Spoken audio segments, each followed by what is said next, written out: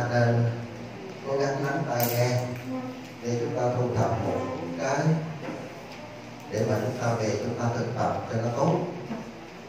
Cái đầu tiên thầy muốn chia sẻ, mặc dù nó không nằm trong bài học, nhưng mà chúng ta cố gắng nắm bắt. Chúng ta có một cái loại bệnh đó là khi chúng ta tiếp xúc với kinh pháp, chúng ta tiếp xúc với Phật pháp, giáo lý, chẳng hạn, là chúng ta không có không có định được cái tâm. Chúng ta không tụng được cái tâm mà chúng ta hầu như là bị sao động trong lúc chúng ta thực tập. Ví dụ như chúng ta tụng kinh, chúng ta niệm phật, chúng ta ngồi thiền chẳng hạn, thì đại đa số là chúng ta cái tâm không có tịnh và gần nhất là khi học Phật pháp. Chúng ta nghe lỗ tai này thì nó ra lỗ tai bên kia. Nó không còn ghi lại cái gì trong tâm cả. Và khi nếu mà chúng ta về nhà, chúng ta coi lại bài cũng vậy. Nó có một số cái mà nó làm cho chúng ta khó có nghĩ tới, khó có thuộc khó có nhớ được những cái pháp phật, những cái kinh phật như vậy thì nó do vì sao? Chúng ta có gặp trường hợp này không? Có phải không? Có thể là thầy giải thích cho chúng ta hiểu, nhưng mà khi chúng ta về nhà, chúng ta coi lại bài, chúng ta chúng ta cố gắng chúng ta học. Nhưng mà thật ra nó nó không có vô nữa, phải không? Học lần trước nó quên lần sau. Nó không nhớ. Là do đâu? Chúng ta nên biết trong cái thuật ngữ nhà Phật.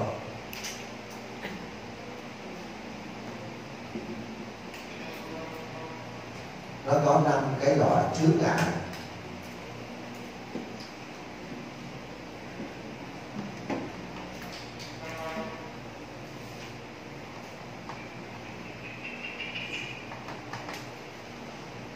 một là tham dục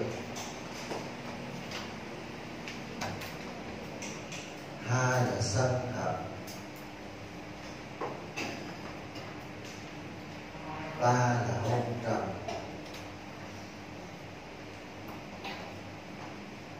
bốn là trạo cử năm là hoài nghi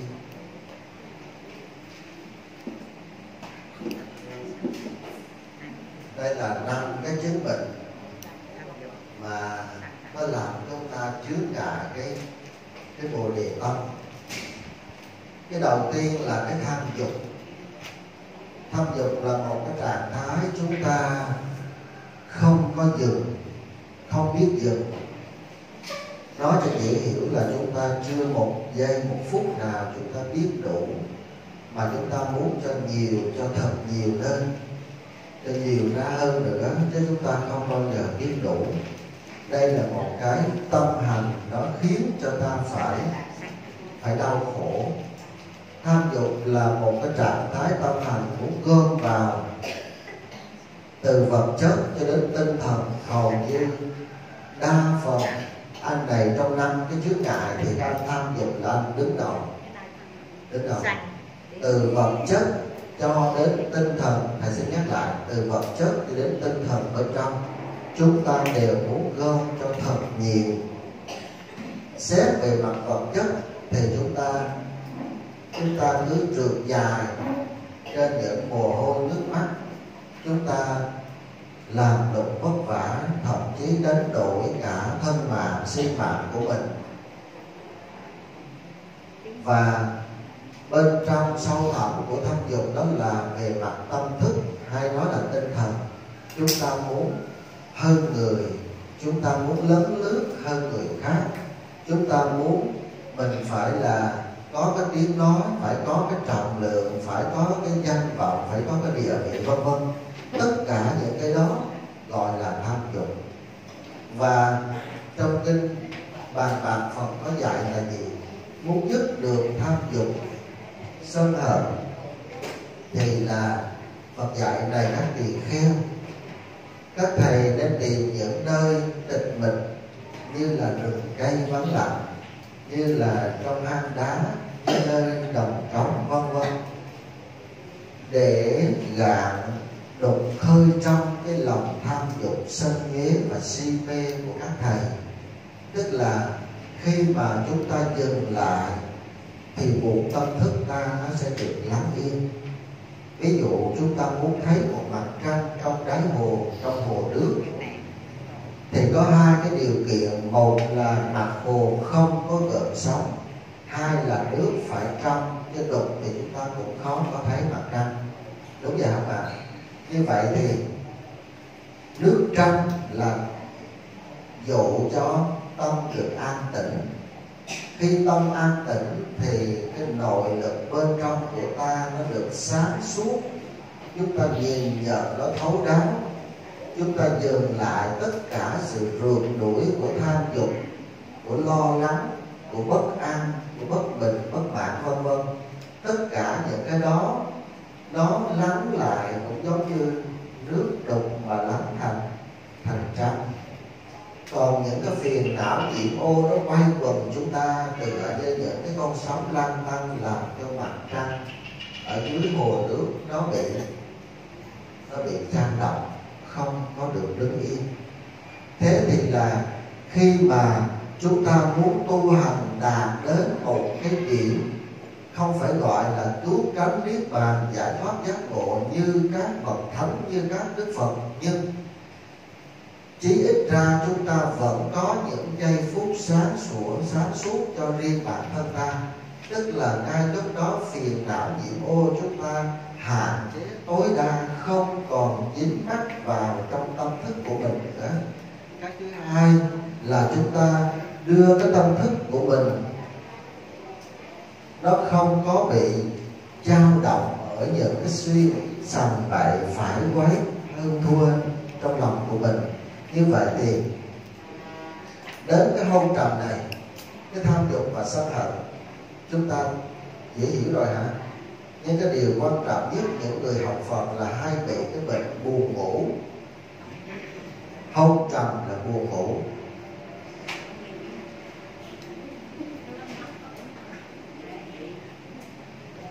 Tức là chúng ta ngủ gà, ngủ gật. Chúng ta nghe một hồi pháp khoảng chừng năm hoặc là 10 phút cao tay nóng là mắt chúng ta liên diêm chúng ta mở thông ra. Hoặc giả, chúng ta đọc một bài giáo lý, chúng ta học một đoạn kinh, chúng ta tụng một hồi kinh, thì đại đa số chúng ta bị mắc vào cái bệnh đó là bệnh hôn trầm. Hôn trầm là một cái trạng thái nó nó phát sinh từ trong tâm thức mà cái chỗ này chúng ta nên nắm bắt trong kỹ nha đại đa số cả tăng lẫn tục, chúng ta bị vướng vào cái này. Tức là người xuất gia hay là cư sĩ tại gia, chúng ta đều bị vướng vào cái bệnh này nhiều lắm. Không. Thậm chí như bên trên này, nói đông, nói tay nói trăng nói cuội ở dưới vẫn có vài một số vị đồng ý, khen hay. Mà không biết có nghe được gì không? Cứ gục cố hết không? Thế thì là, cái tâm chúng ta nó không sáng chúng ta không có nhận biết cho thấu đáo như thế nào. Nghĩa là tâm thức ta nó có hai cái dạng, quý vị. Một là cái biết.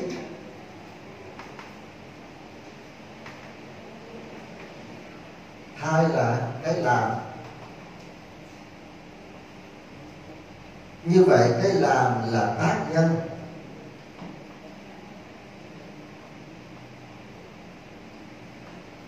Cái biết là tri nhân.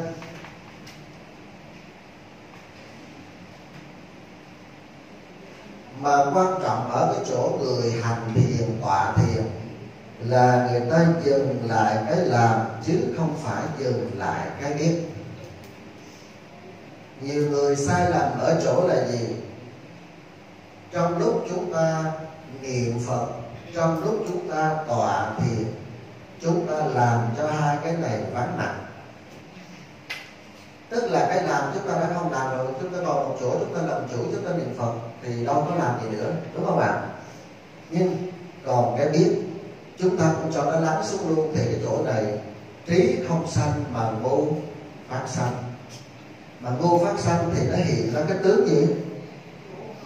Buồn ngủ đó là điều rất rõ ràng khi trong tâm chúng ta chúng ta vẫn ngồi nhưng chúng ta để cho cái biết nó vận hành.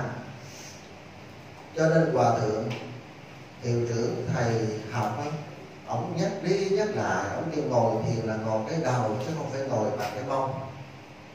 Ngồi bằng cái đầu tức là chúng ta vận dụng cái sự hiểu biết này chúng ta đưa vào trong lúc chúng ta ngồi thiền hoặc là đưa vào trong lúc chúng ta niệm phật. Phải không ạ? Còn đại đa số chúng ta dừng luôn cả cái biết trong lúc niệm phật hoặc là tọa thiền, thì cái điều này nó trật nó xa đi. Và chúng ta có một cái thói quen trong kinh chư tổ có dạy là gì? Thánh nhân cầu tâm dẫn cầu phật, phàm phu cầu phật mà dẫn cầu tâm. Là chỗ này người thánh nhân đó, người ta muốn tu đạo, người ta muốn tiến tới cái lộ trình giác ngộ như các bậc thánh, như các vị phật, thì là người ta xoay ngược lại cái bản tâm để người ta thấy được những cái gì nó còn cần đến ta để chúng ta sửa đổi. Vì ngoài tâm không có phật, cho nên đừng có cầu phật bên ngoài mà bỏ ông phật ở bên trong chúng ta hiểu cái này không ạ? Đại đa số chúng ta lại chúng ta lễ, chúng ta niệm mà chúng ta hành trì với ông Phật bên ngoài cái Phật trong tâm ta ông ngủ ngủ mất rồi.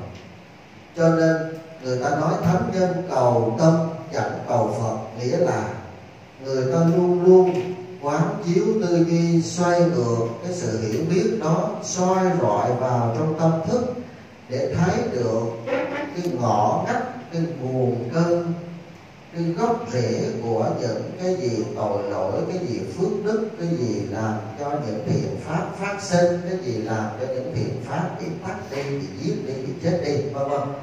Thế thì là trở lại cái vấn đề hôn trầm.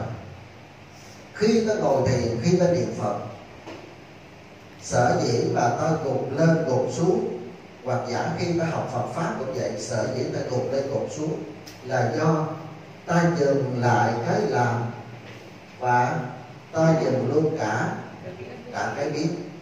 Còn nếu như chúng ta dừng lại cái làm, tức là chúng ta không có vết già, không lặt rau, không rửa bát, không, nói chung là mọi cái động thái chúng ta dừng lại. Mà thân dừng thì tâm nó mới mới đứng yên. Vì là khi mà xe nó còn nhiên liệu và có cái sức đạp, cái sức rồ máy của con người thì xe nó tiếp tục lăn. Nhưng nhiên liệu tắt và cái sức rồ máy không còn nữa thì nó cũng cũng dừng theo, đúng không ạ?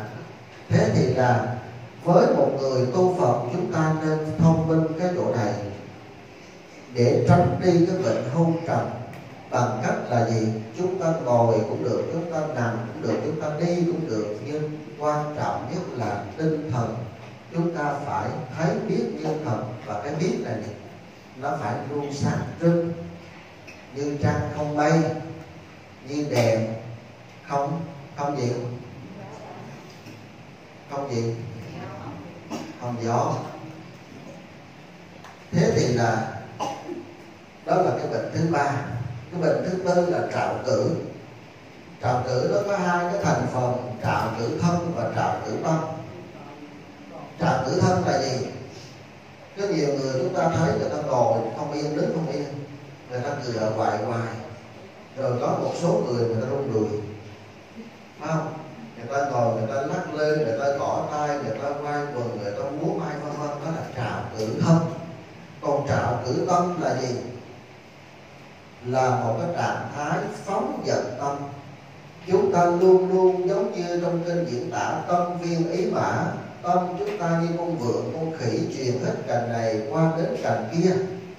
Ý thức của chúng ta thì như con ngựa quan không bao giờ biết ngừng lại, biết dừng lại trong một phút giây nào. Cho nên cái trạo cử với cái hôn trầm đó đi song hành thành một cặp một cặp tham dục sân hận là một cặp. Hôn trầm trạo tử là một cặp. Và riêng cái anh hoài nghi. Hoài nghi là một trong những cái chướng ngại đạo rất lớn. Từ khi chúng ta thực tập, ví dụ chúng ta có nhiều người hỏi thầy những câu hỏi mà thầy thấy hết sức tội nghiệp. Đó là, thưa thầy, con còn cái bài kinh đó trong nhà, con tốt không? Nếu không tốt, con đổi kinh khác hoặc giả là con đăng điện danh hiệu này. Bây giờ con đổi qua danh hiệu khác, có sao không? Rồi cho đến những cái mà Phật không hề biết, không hề dạy mà ta vẫn vẫn tin là có. Cái giếng cửa đó nó có tốt không? Hay còn thay đổi được không? Lắp đi được không? Cái cửa chính, bổn mạng, cái cửa ngõ, vân vân. Tất cả những cái đó là một sự hoài nghi rất lớn trong lòng của ta vì sao chúng ta có nỗi hoài nghi lớn? Vì chúng ta không có thấy được vạn pháp nó duyên sanh vô ngã. Nó không có ngã, nó không có tướng, nó không có mặt mũi. Nó chỉ tồn tại trong cái bình diện là gì? Duyên còn thì nó nó còn, mà duyên hết thì nó làm sao ạ? À? duyên hết nó làm sao? Nó mất chúng ta có thể là cao một mét bảy, mét tám cân nặng sáu bảy chục ký. Nhưng mà nếu như mà là người thành phố thì cái sáu bảy chục ký cao một mét bảy, mét tám cái cuối cùng nó còn là cái gì? Một nắm tro sau khi thiêu quả tán xong, phải không ạ? Còn nếu là người nhà quê thì là nắm đất là cùng. Thế thì là cái mà nó còn tồn tại để cho ta nắm bắt, để cho ta nhận biết, để cho ta thấy biết được, thì khi nó còn duyên nó đủ duyên thì nó nó còn có mặt mà nó hết duyên rồi thì tìm đố mà nó ra. Ví dụ như bây giờ một người Nguyễn Thị A nào đó đó mà trước khi Nguyễn Thị A ra đời thì cái Nguyễn Thị A này có mặt chưa? Dạ, Dám nói có lắm nào trước khi Nguyễn Thị A ra đời thì Nguyễn Thị A đã có mặt chưa? Chưa chứ. Cái này chúng ta đi thẳng vào bài luôn. Hôm trước chúng ta học tới cái gọi là gì? Phải biết thương mình, phải không? Hôm nay chúng ta học một số chữ tức trong nhà Phật.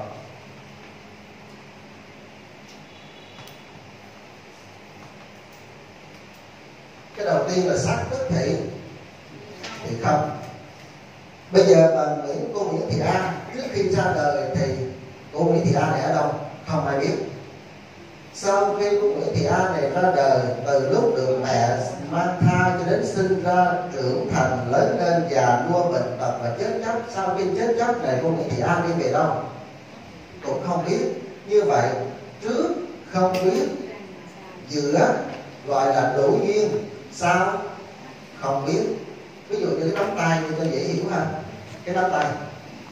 Ở trước mặt của quý vị là một cái nắm tay của thầy, ai cũng thấy như vậy thì cái nắm tay này, nếu như trước đó mà nói là nắm tay thì đúng không? Nó đâu có là nắm tay.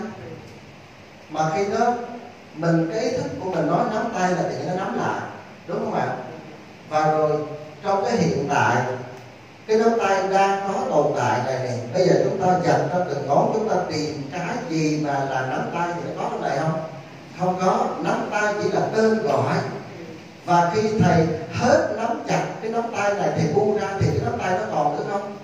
À, thế thì là cái mạng sống cho đến tất cả mọi cái vạn pháp trong đời sống ta biết được là do duyên sanh nó có tồn tại chứ thật ra nó không hề có một cái bản ngã thực sự của nó.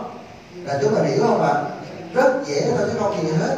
Như vậy thì cái sự phản quấy trong đời sống này này nếu ta thấy xác tức là không, có nghĩa là vạn pháp duyên sanh như quyển, khi còn có duyên thì nó hợp mà khi hết duyên thì nó nó tan rã ra mà thôi.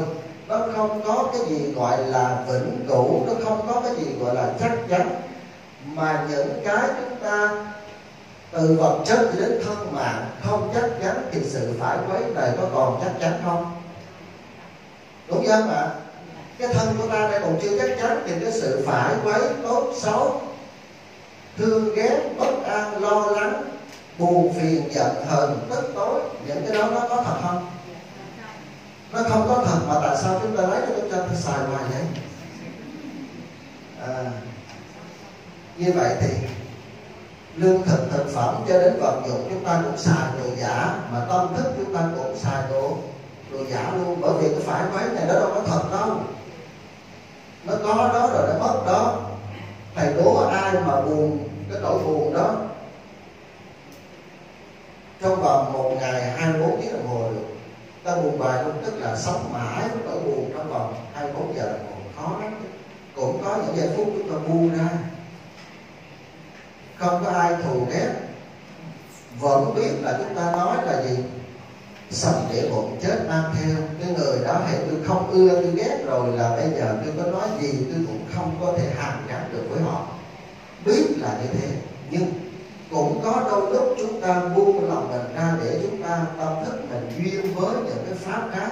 Chứ không bao giờ chúng ta sống mãi, sống trọn với những cái tâm thức đó được. Bởi vì nó có sự vận hành riêng của cái bản thân không bao giờ ngừng, không bao giờ dừng lại được cho nên là bởi vì nó là một trong những cái cái loại hành. Hành tức là luôn luôn chuyển động luôn luôn thay đổi luôn luôn từ trạng thái này sang trạng thái khác. Tâm thì vô vô gì ạ? Thân thì vô thường tâm thì vô ngã. Sao thân bất tịnh tâm, tịnh tâm vô thường pháp vô ngã. Phải không? Thế thì là tâm chúng ta rất vô thường. Bây giờ nói thương thầy chứ lát nữa mà thầy làm phật làm cái là nói ghét thầy. Bây giờ nói ôn quý thầy chứ lát nữa mà lỡ mà coi như hả thầy làm một cái gì mà nó hơi hơi sốc não hoặc là nó hơi khiếm nhã tí xíu là thôi ông thầy đó không được rồi.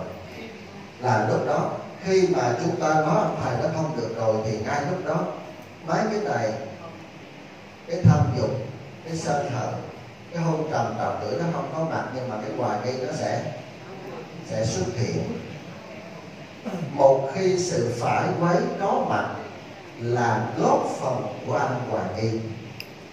Anh hoài nghi không biết ông thầy đó tu sao mà ông ăn nói kiểu vậy? Không biết ông tu hành như thế nào mà tại sao ông có cứ đạo hữu như vậy, ông cư xử như vậy? Rồi cái chị A, chị B không biết chị đi chùa làm cái gì mà chị A nói với tôi như vậy như vậy thì vân vân cái như vậy nó xuất phát từ cái bệnh hoài đi mà ra. Để trở lại vấn đề cái đầu tiên xác tức thì không.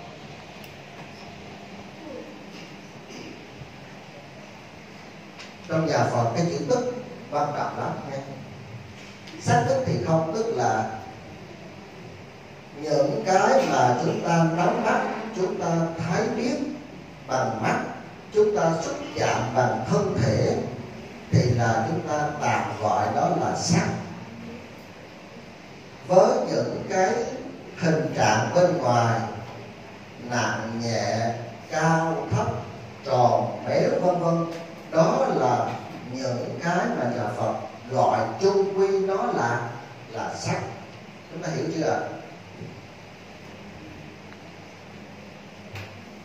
để sắc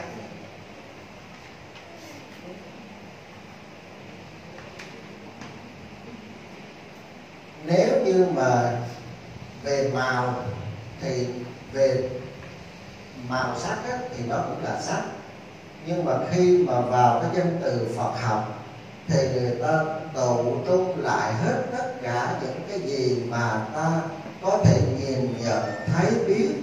Ta có thể va chạm tiếp xúc bằng thân thể của ta thì nhà Phật gọi là sắc à, ví dụ như viên phấn là một cũng là một sắc pháp sắc pháp rồi là người A, người B, những người đã gặp già trẻ bé lớn cũng là một sắc pháp.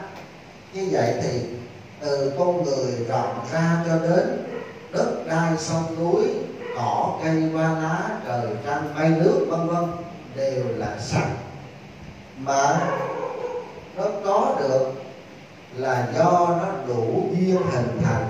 Nhưng khi duyên hết rồi thì từ sắc này nó trở về cái nguyên thủy của nó là làm không. Nhớ thật kỹ nha. Nhớ thật kỹ.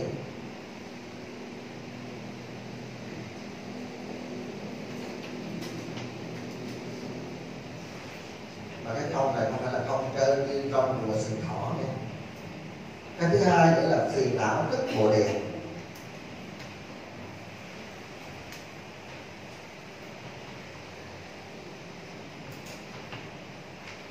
Phiền não là gì? Khi não cũng là một cái loại chướng ngại. Chướng ngại. Mà trong kinh định nghĩa làm sao? Phiền thì chịu nghĩa, não thì loạn nghĩa. Não loạn hữu tình là cố danh phiền não. Đó là định nghĩa cho hai từ phiền não. Thầy sẽ đọc lại. Phiền thì nhiễu nghĩa, não thì loạn nghĩa. Não loạn hữu tình, cố danh phiền não. Phiền là nó làm cho mình phải gì phải bị quái nhiễu ở trong tâm thức.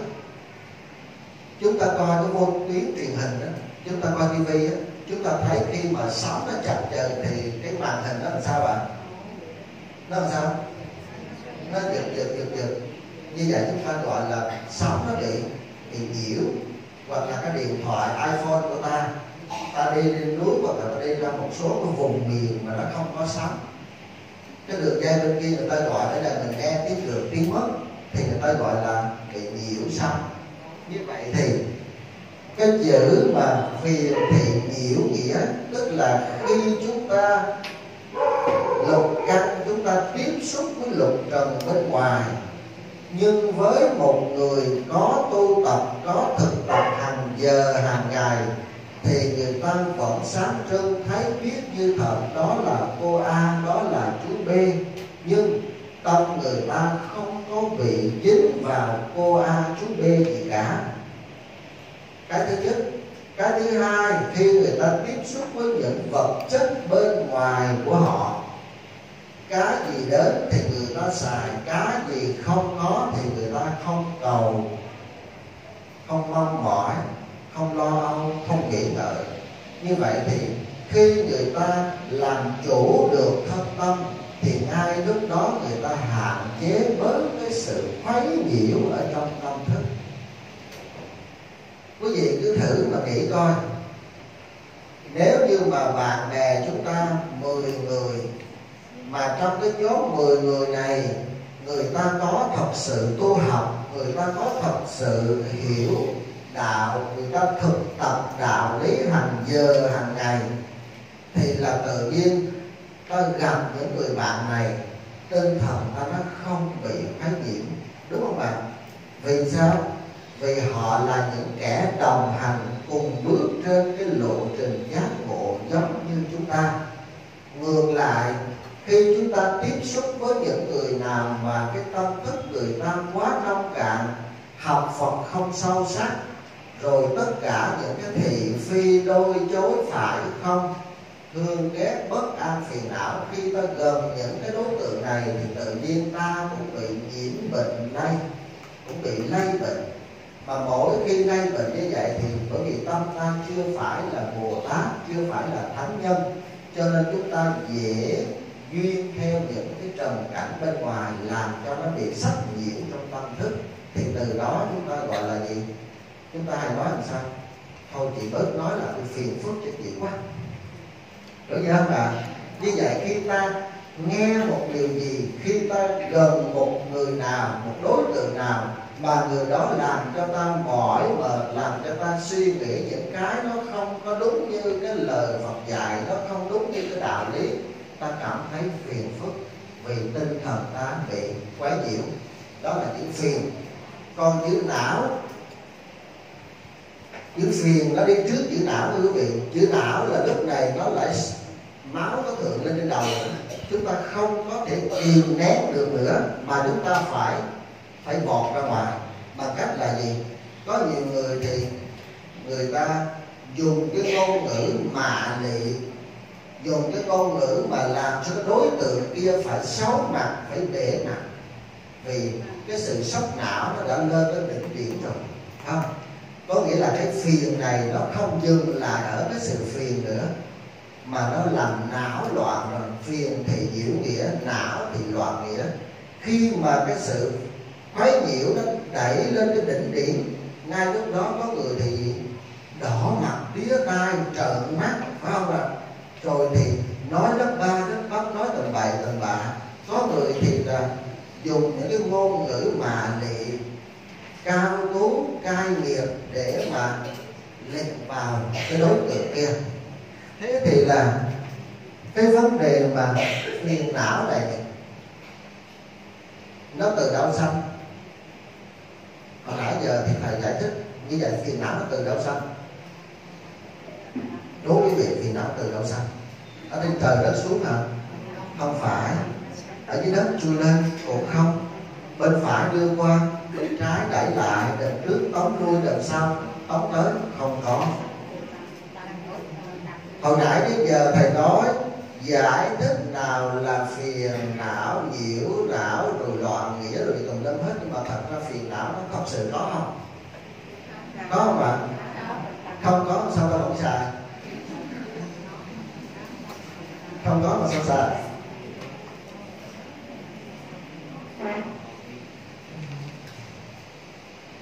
Chúng ta nói rộng ra cái xíu, chúng ta thấy ngoài thiên nhiên, tự nhiên, vũ trụ ta nên thấy một điều. Sự vật, vòng xoay là định sẵn hết mưa là nắng ẩn lên thôi. Đúng không ạ? Sự vật, vòng xoay là định sẵn hết mưa là nắng ẩn lên thôi. Sự vật tuần hoàn, nguyên, hữu định, vũ thiên chi hậu là tất tình thiên hình như hai câu này trong nhật ký trong tù thì phải. Thế thì là cái sự vật nó vòng sai. Cái cơn mưa chúng ta không hề không hề mong mỏi. Cái vạt nắng chúng ta không hề chờ đợi trong mong. Nhưng mà khi nó đủ duyên nó đáp hợp ở ngoài cái bầu không khí, cái quyển mà nó đủ duyên rồi thì mưa xuống, đủ duyên rồi thì nắng lên đó là điều tất nhiên. Đúng không ạ? Thầy ví dụ như bây giờ mà ở đây là cảm thấy bình an. Nhưng Indonesia ngày hôm qua hôm kia là người bị thương hơn 500 người và người chết hơn 400 người. Như vậy là tính cho cùng là cái thành phố đó, cả người chết và người bị thương gần cả ngàn người. Thế thì là ta thấy cái vũ trụ trời đất này chỗ này thì bình yên, chỗ khác thì sóng dậy, chỗ này thì nắng hòa mưa thuận, chỗ khác thì là bão táp mưa xa đó là cái chuyện tuần hoàn của vũ trụ. Mặc dù nó khởi từ sự thương yêu, binh mộng đối với những người thiếu may mắn, bị sóng thần, bị động đất, bị vùi dập ở dưới lòng đất, cả hàng trăm mét như vậy mà máy xúc, máy đào người ta phải đào hết cái lớp đổ đá đất đá đó người ta mới moi được cái xác người lên. Như thế thì ta thấy trong cái kiếp người nó quá nhiều sự mong manh biến đổi, thay đổi. Mà cái sự mong manh biến đổi, thay đổi thì khi ta cùng một chùa, khi ta cùng một lớp học thì ta trao truyền cái sự yêu thương nhiều hơn là sự hiềm khích và thù ghét vì khi ta có mặt trên cõi đời này, nó ngắn lắm chứ không phải dài. Không ai lột da sống đời để ăn đời ở kiếp để mà thù ghét lẫn nhau. Chính vì ta thấy sự ngắn ngủi của kiếp sống nhân sinh của loài người, cho nên cái tốt hơn hết là ta dành sự thương yêu nhiều hơn là sự thù hằn. Là chúng đồng ý không ạ? Trở lại vấn đề. Cái phiền não mặc dù nó sách nhiễu, nó làm não loạn cái tâm thần của ta nhưng cái bồ đề khi mà có được, nó cũng phát sinh từ phiền não chứ không phải xa rời phiền não để mà có bộ bồ đề. Cái chỗ này là cái tuyệt diệu trong nhà phật đó đại chúng. Ta đừng bao giờ xa rời phiền não. Ta đừng bao giờ chán ghét những cái gì xấu ác. Ta đừng đừng bao giờ sinh cái tâm chê ba những cái gì mà xấu xa. Bởi vì hoa sen thì nó bọc từ bùn dơ nước đậm đúng không ạ? Vậy thì khi bồ đề giác ngộ viên thành là được lập trình trên cái nền tảng của phiền não nhiễm ô đó. Chứ nó không phải là xa rời phiền não mà mà có bồ đề đâu. Như vậy thì cũng một cái mảnh đất tâm trong lòng ta nếu ta biết gieo những hạt giống thiện lành, tốt, đẹp, từ ái, bao dung, hòa nhã, sẽ chia nồng ấm với mọi người, với tha nhân, thì tự nhiên cái bồ đề ta, cái phần trăm nó lớn hơn là cái phiền phiền não. Nhưng cái lớn này không phải tự động nó có, mà từ cái phiền não đó, cái nền tảng đó, nó sanh. Chúng ta thấy ở trong miền nam sài gòn ngày xưa những cái vùng đất mà khu nhà ổ chuột là một này rồi đường kênh, đường mương, rồi đầm, rồi đìa rồi cái nơi mũi mầm cái nơi mà người ta cho là là hôi thối. Bây giờ xin thưa, hàng tỷ hàng tỷ đồng, dài mét vuông đất, đúng không ạ? Thế thì là ta từ đó ta mới quy chiếu lại cái bản tâm của ta tại sao quý thầy quý sư đi tu? Tại sao đạo hữu phật tử phải về chùa đi tu? Vì ta còn phiền não. Đúng không ạ? Chứ nếu như ta hết phiền não rồi thì ta không cần phải tu tập làm gì. Nhưng phiền não là nói theo danh từ phật học. Trước khi mà chúng ta giác ngộ bồ đề rồi thì cái dấu tích của phiền não này còn không. Không hề còn tí tẹo nào cho nên, ngài tư niệm thiền sư, ông mới nói là tạc nhập giả xoa tâm, kim chiêu bồ tát diện bồ tát giữ giả xoa bất cách nhất điều tuyến hôm qua lòng giả xoa, ngày nay mặt bồ tát bồ tát và giả xoa không cách một sợi chỉ. Đó là chỗ này. Tức là cái mặt giả xoa hôm á là ngày hôm qua nhưng đến ngày hôm nay người ta biết làm lành lắm dữ, người ta biết quán chiếu tư duy, thiền định, niệm phật, người ta làm tất cả những cái thiện sự cộng thêm với những cái thiện pháp. Thầy xin nhắc luôn cái chỗ này thiện sự là những cái công việc chúng ta chia bùi sẻ ngọt với tha nhân. Chúng ta sống không vị kỷ, chúng ta cho đi nhiều hơn là chúng ta nhận đó là thiện sự. Nhưng bên cạnh thiện sự, ta vẫn phải có cái thiện pháp, tức là gì? Luôn tô bồi Phật pháp, luôn học hành Phật pháp. Chim mà một cánh thì không thể bay. Người mà có thiện sự, không có thiện pháp thì bồ đề giải thoát sẽ không có miệng cười người ta được đâu. Hiểu không bạn đó là cái điều tất nhiên. Thành thử ra, để quy chiếu lại, cái phiền não tức bồ đề cũng từ ta mà ra phiền não cũng từ ta, bồ đề cũng từ ta. Cái phiền não cũng không ai mang tới mà làm ta nổi giận, làm ta nổi nóng. Và bồ đề cũng không ai bưng tới đặt để mời anh ngồi lên cái đai, cái ngai vàng của bồ đề hết. Hoàn toàn là tự ta gầy dựng, rồi tự ta tạo dựng, rồi tự ta hưởng nhân hưởng quả mà thôi. Là chúng hiểu không bạn rồi, cái nữa, xin tranh thủ cái sợ không đủ thời gian cái thứ ba nữa là sanh tử tức niết bàn.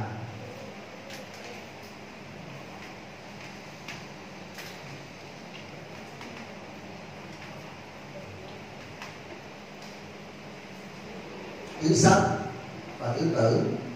Khi chữ sanh đứng riêng, thì nó là một cái từ gì mà có một cái sự phát ra, một cái sự mà sản sinh ra. Tử là mất đi, là diệt đi, là chết chóc nhưng khi hai cái chữ đứng gần với nhau, chữ sanh và chữ tử, đứng thành một cái từ ghép, thì cái nghĩa nó trở nên khác. Có thể là với một cái nghĩa cạn nhất là chúng ta gọi là sự sống chết, là sanh tử đúng không ạ nhưng với một cái cái văn hàm của nhà Phật thì gọi là gì? Một cuộc một cuộc gì? Một trôi lăn một sự luân hồi một sự gì ra đi. Điền biệt và mất luôn cả nếu như người nào không tu tập là mất luôn cả kỳ lẫn dài đấy. hay còn gọi là thân mất mà tâm thức cũng cũng mất theo. Cái quan trọng á hôm trước mình có chia sẻ muôn vàng sự đều, đều để lại chỉ có đem theo cái nghiệp của mình chúng ta nên biết trên đời này ai sinh ra, ai có mặt trong trần gian này rồi cũng phải chết đi. Nhưng với một người con của Phật, một người đệ tử của Phật thì cái sự chết đi này nó mang cái ý nghĩa gì? Phải không ạ?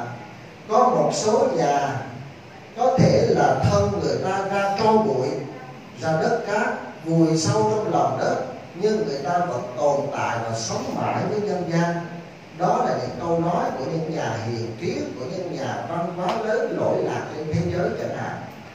Phải không ạ? Ví dụ như một cái nhân vật khá nổi tiếng trong lòng nghệ thuật đó là ông ông sạc lô. Phải không? Ai là biết ông sạc lô hết? Ngày xưa mà mở tivi là thấy hình thì hình nó đen mà cái ông đội cái mũ cao cao cầm cái gậy nhảy nhảy nhảy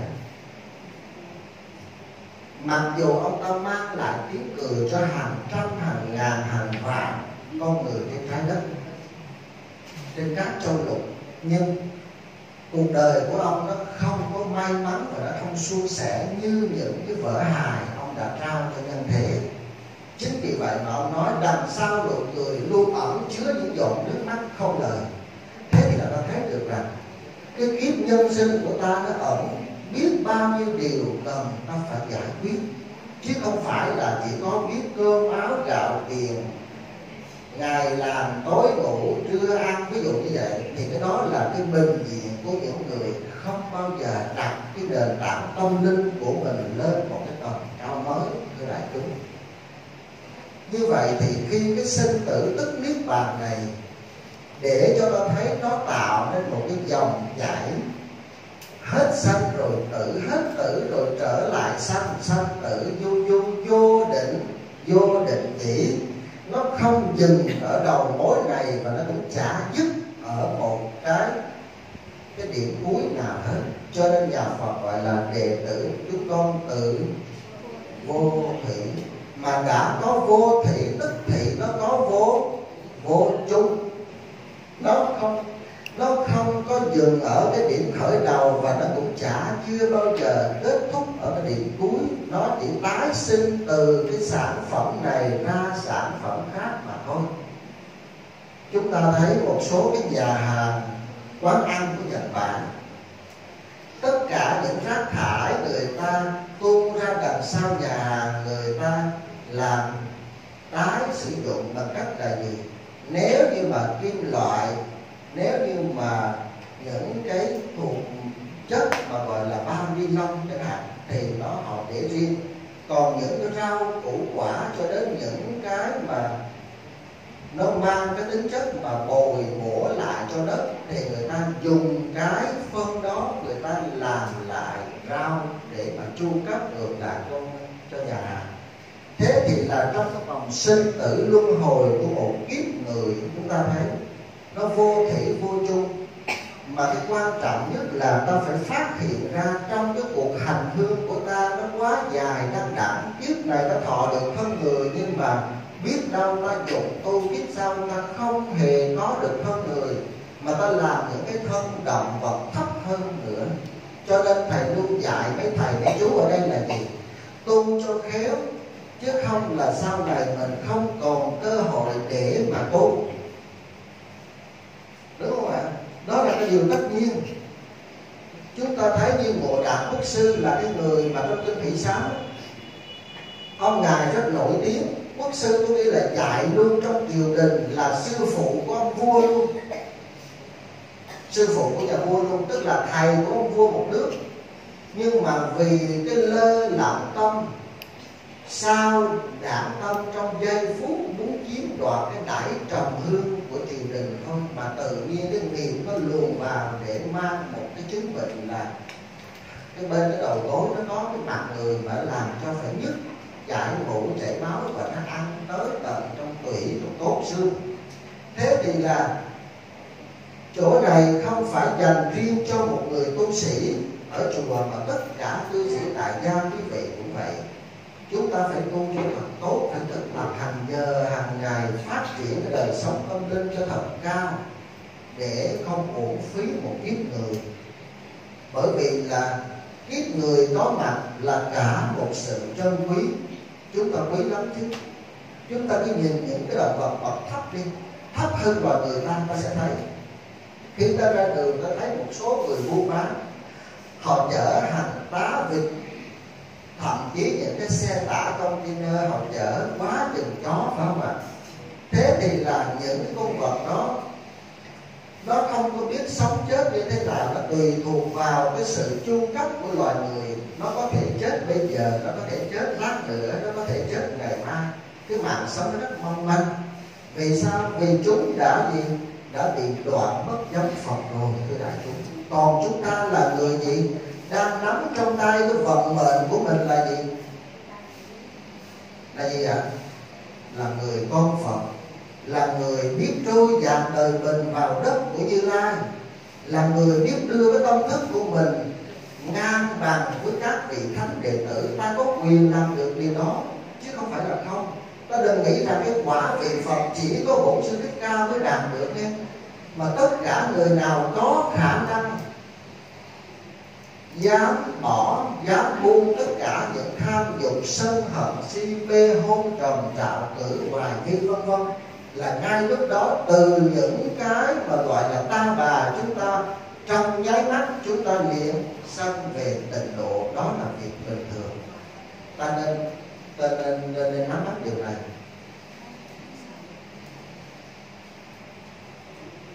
Học thêm chút nữa hay là chúng ta dừng? Học chút nữa đây hả?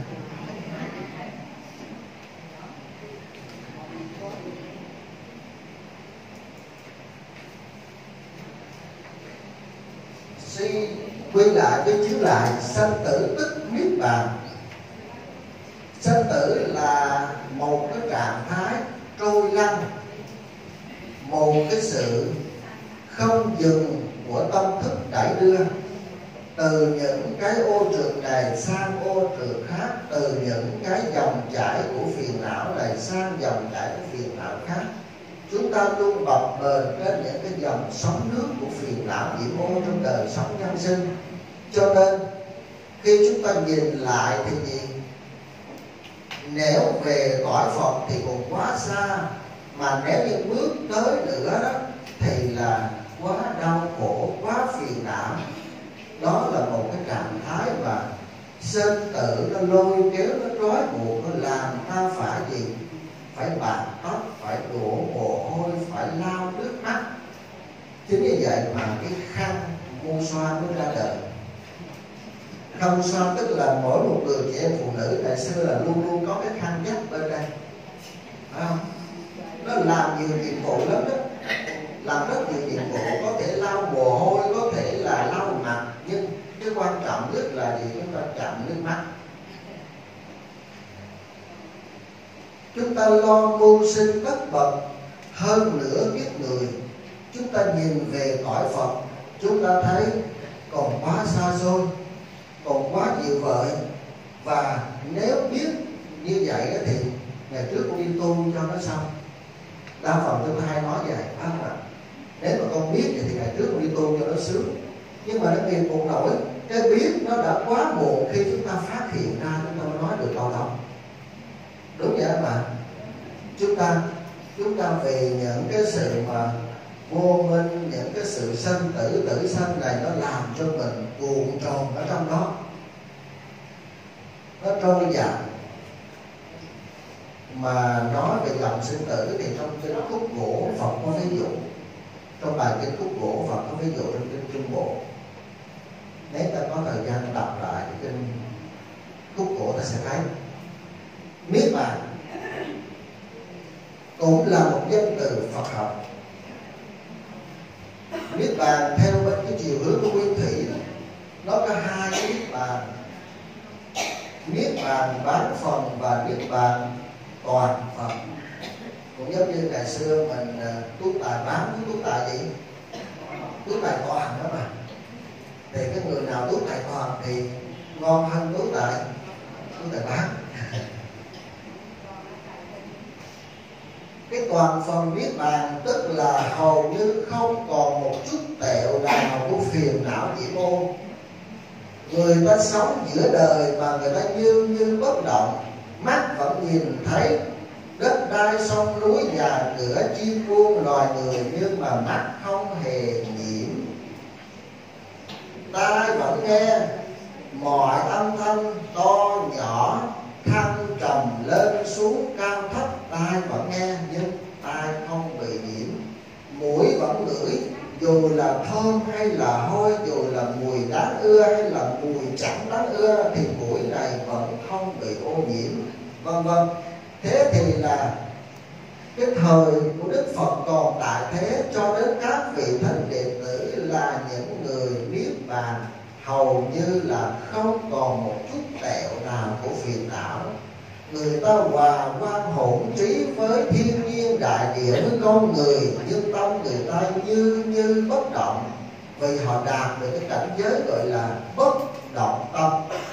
Bất động tâm là một trạng thái không phải là giết chết tất cả những sự hiểu biết người ta thấy rất rõ rất sáng nhưng người ta không bị nhấn chìm bởi những cái sắc dục những cái tham đắm những cái si mê hờn tuổi của kiếp người của chúng sanh. Chúng ta hiểu cái này không ạ? Thì nói nãy giờ nó cũng, cũng dài nên không hiểu chết luôn á tức là cái cảnh giới bất động tâm tức là cái tâm người ta nó như như bất động nó không bao giờ lên cao quá cũng không bao giờ xuống xuống xuống dưới thấp quá. Có một hôm thì một người bà la môn mới dẫn đến trước mặt của đức đạo sư ta là một con cừu. À, xin thưa một con lừa một con lừa thì hỏi đức đạo sư ta là ngài có biết con này con gì không? Thì đức đạo sư ta nói đó là con lừa thì ông bà la môn này mới nói, con này là con lừa. Con này là con ngựa chứ không phải con lừa. Thì đức đạo sư ta gục đầu những người nói à là con ngựa cái thì ông nói, con này là con ngựa con này không phải là con ngựa mà đó là con la. Đức đạo sư ta nghĩ à thì là con la. Có nghĩa là dù là la, lừa hay ngựa nó không có làm cho cái tâm thức của đức đạo sư, nó không làm cho cái tâm thức của như lai của mình bị quấy nhiễu bởi những cái trạng thái đó. Còn với chúng ta thì sao? Có thể là chúng ta vì cầu phật bên ngoài nhiều mà chúng ta không cầu tâm. Cầu phật bên ngoài là gì? Thầy ví dụ mình vào nhà ai cũng thấy cũng thấy kêu với ghi nhận. Đó. ghi nhận. Tức là để cho cái tâm mình nó được an tịnh, nó là nhẫn nhịn nó không có nóng nảy có một ông kia, ông nghe cái ghi nhận hay quá. Thì ông cũng tới. Ông xin viết một lô chữ nhận. Bắt đầu ông về cái cửa đó ông cũng dán chữ nhận. Cái đôi bữa ăn cũng dán chữ nhận. Cái chế cơm dán chữ nhận. Tức là trong nhà có vật dụng gì đó ông ta đều dán cái chữ nhận này đó hết. Có một người khách họ tới họ hỏi. Họ bước vô cửa, họ kêu, chú, cái chữ gì đây? Kêu dạ chữ nhận. Bước vào cái bàn ngồi nói chú gì đây? Chữ gì đây chú chữ nhận có nghĩa là ông gặp cái chữ đó, ông hỏi không biết bao nhiêu lần. Đến lúc mà gần ăn cơm, cầm cái chén lên ông hỏi, ủa, cái chữ gì đây? Thì ông, cái ông này, ông chịu hết nổi rồi. Có một cái chữ nhẫn mà hồi nãy giờ tôi không biết nữa sao. Hỏi hoài hỏi hoài cũng rồi như vậy thì ngay lúc đó, hết giận hết giận vậy thì hóa ra cái bản cái bản tâm của ta nó kỳ cục vậy. Chúng ta hay cầu ở bên ngoài mà chúng ta không nhìn lại bên trong. Nó còn được bao nhiêu phần trăm nhẫn? Phải không bạn nếu như lỡ nhẫn rồi thì nhẫn luôn đi. Chứ mắc gì mà phải nổi nóng như vậy nữa cho được.